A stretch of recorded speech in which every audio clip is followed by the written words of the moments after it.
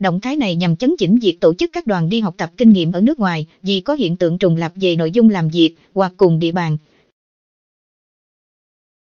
Do đó, Ủy ban Nhân dân thành phố yêu cầu các sở ngành, quận huyện khi thành lập kế hoạch hoạt động đối ngoại hàng năm của cơ quan, đơn vị, phải bao gồm cả hoạt động đối ngoại của các ủy viên ban thường vụ cấp ủy cùng cấp và trình thành phố duyệt trước ngày 5 tháng 10 hàng năm.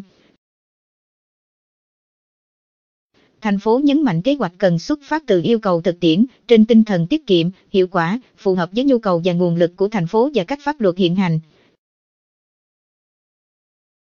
Đồng thời kế hoạch phải nêu rõ ràng mục đích, yêu cầu, nội dung, các đối tác làm việc, thời gian, địa điểm, kinh phí thực hiện chuyến đi và các nội dung liên quan gắn liền với kết quả sau chuyến đi. Nội dung làm việc tập trung vào các hoạt động thực sự quan trọng và ưu tiên phục vụ cho nhiệm vụ trọng tâm của bộ, ngành, địa phương, tránh trùng lắp với các đoàn khác, cân nhắc đoàn kết các đoàn có trùng địa bàn, nội dung làm việc hay có thời điểm và đường bay dễ dàng thành một đoàn để tránh việc có quá nhiều lãnh đạo của một hoặc nhiều cơ quan đi đến cùng một địa bàn. Ngoài ra thành phần đoàn bảo đảm phù hợp với mục đích, yêu cầu, nội dung làm việc, không cử các thành phần không đúng đối tượng, tránh tổ chức các đoàn công tác nước ngoài vào các dịp nghỉ lễ, bầu cử của nước bạn.